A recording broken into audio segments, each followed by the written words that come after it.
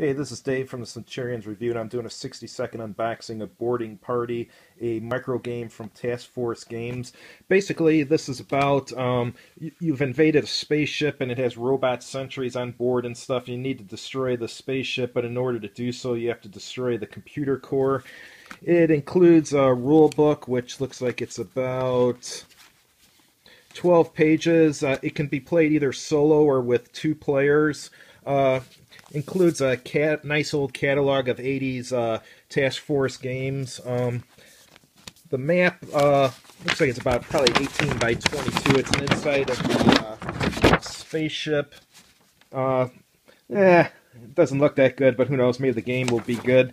Um, the counters are very simple, like all counters were back then, and it includes a Ziploc bag. Well, I'll be reviewing this game uh, as soon as I get a chance. Thanks for watching.